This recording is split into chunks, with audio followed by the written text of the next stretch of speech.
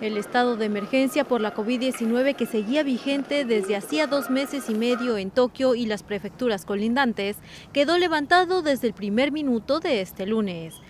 La alerta sanitaria en el área capitalina quedó retirada a partir de la medianoche y las autoridades locales han solicitado a bares y restaurantes que mantengan el adelanto de la hora de cierre, que a partir de ahora podrá ser a las 21 horas, como medida preventiva contra nuevos contagios mientras aumentan los casos con nuevas cepas.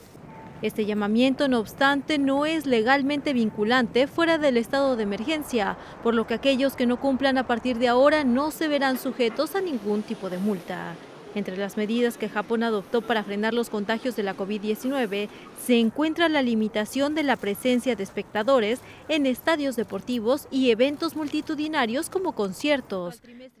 El gobierno central, que anunció el levantamiento de la alerta cuatro días atrás, quiere evitar un nuevo estado de emergencia mediante el programa de vacunación, el fortalecimiento de su sistema sanitario y la ampliación de test para detectar las nuevas variantes que resultan ser más contagiosas.